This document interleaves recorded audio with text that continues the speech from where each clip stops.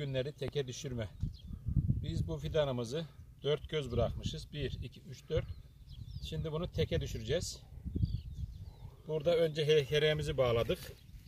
Hereğimizi bağladıktan sonra da şimdi fidanlarımızı yavaş yavaş sürgünlerimizi teke düşürelim. Nereden baksa arkadaşlar 10, 15 santim yakın sürgünlerimiz var. Şimdi bunları bekleyip de boşa enerji harcamanın bir anlamı yok. İlk önce şöyle hereğimize düğüm atıyorsunuz arkadaşlar. Düğüm attıktan sonra biraz daha sürgünümüz birkaç güne tamamen büyüyecek. Şöyle hafiften bir düğüm atıyoruz. Sürgünümüz görüldüğü gibi boştur arkadaşlar. Sürgüne düğüm atmıyorsunuz. Sadece hereye düğüm atın ki buradaki sürgünümüze hiçbir şey bağlamaya gerek yok. Çünkü yarın bir gün büyüdükçe, genişledikçe bu ne yapacak? Bunu boğacak. Yani kökünü, gövdesini boğacak. Boğmaması için de sadece bunun etrafını boş bırakıyoruz. Hereğimizi bağlıyoruz. Hereklerimizi sıkılaştıracağız böyle. Ondan sonra kademe kademe büyüdükçe büyüdükçe bağlıyoruz. Belki aklınıza şu gelebilir arkadaşlar. Çünkü burası büyük bir ticari bahçe. 2500 adet filan var burada.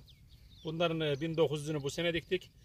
Geri kalan 600 de geçen seneden de onlar da bayağı fire var bu sene. Onlar da sökülecek.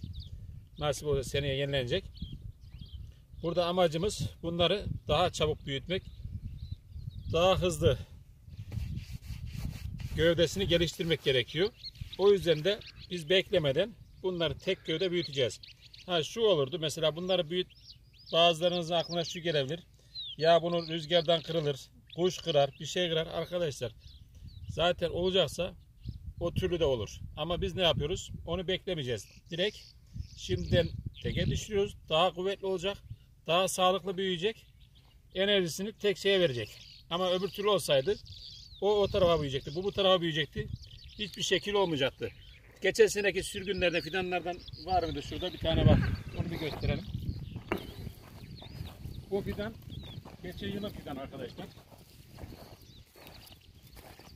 Geçen yıldaki de fidanlar sadece şu kadar büyümüştü. Bunun ucunda şöyle bir sürgünü vardı. Biz burayı aldık tekrardan. Şimdi yine aynı bunu da böyle teke düşürüp bunların herekleri sağlamlaşacak. Şimdi geçenki rüzgardan bayağı bir etkilenmiş. Böyle kalmış. Bunların dipleri yine komple çapalanacak. Otları temizlenecek.